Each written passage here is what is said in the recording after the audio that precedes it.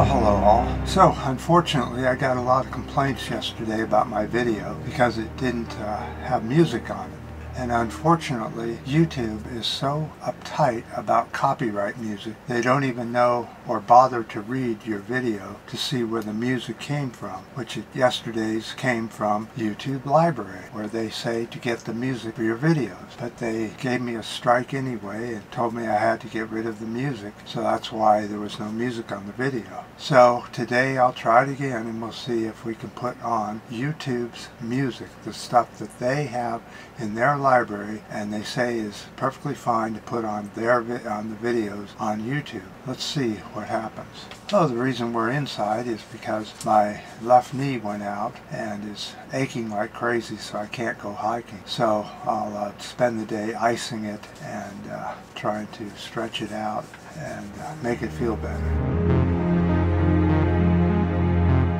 So, with that, let's talk about climate change. The UN is calling for radical changes to stem warming. Tackling climate needs a rapid transformation of the way our world works, travels, eats, and uses energy, according to an important UN review. While progress has been made, efforts now needs a massively scaled up effort. The report calls for radical decarbonization with a fast phase out of fossil fuels without carbon capture nonsense schemes. There's no such thing as carbon capture other than planting trees and uh, greenery. You need more than just lawns. You need a forest kind of thing to carbon capture. Renewable energy also needs expansion while deforestation needs to be halted and reversed by 2030. The Stocktake report, which is the, re, the UN report,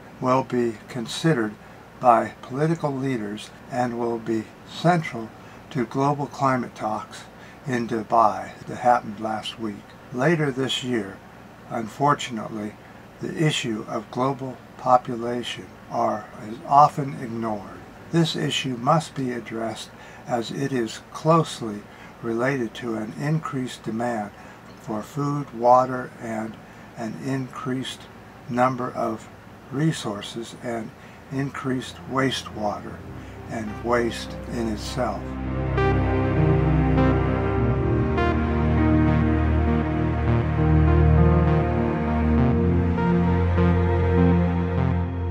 people don't think that overpopulation will bother anything, but it really does. It, they demand more resources, more water, more food, more land, and more resources to build things like buildings and houses and that sort of thing. And then we have to have a, an ever-ending increased way of getting rid of waste and wastewater from all sorts of industries and human activity. According to a new report, it takes over 200,000 years for human populations to reach 1 billion and was estimated to occur during the 19th century. Comparatively, the world population is currently over 8 billion in climbing and is expected to reach 8.5 billion by the 2030s. Well, it's going to be a lot sooner than that. Population is growing very quickly and we'll be at 9 billion before you can uh, even blink your eye practically because people are still having babies uncontrollably all over the world. They, they, the, the females think they to have a family they have to birth a baby.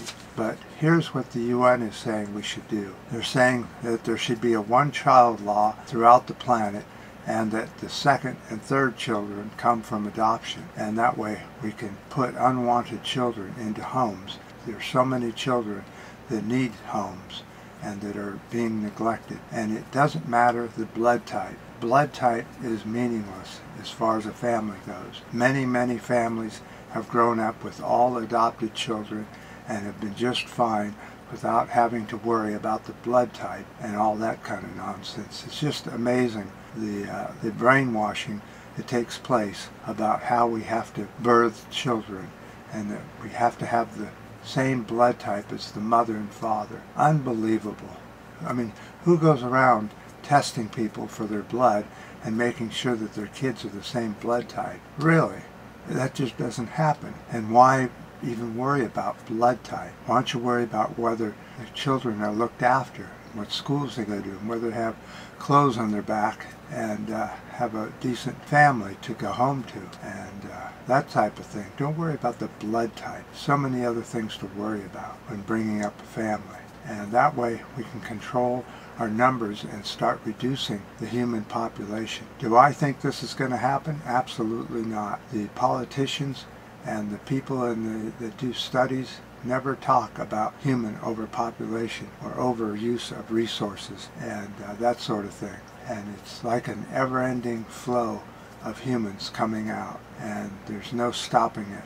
And they probably will never stop it until it's absolutely too late and we don't have enough food to feed all these humans or enough fresh clean water or enough places to put the people in housing. We already see that now with tremendous amounts of homelessness all over the US and Canada and other parts of the world. It's happening but we choose to ignore it and drive by it even though it's right there while we birth yet another child.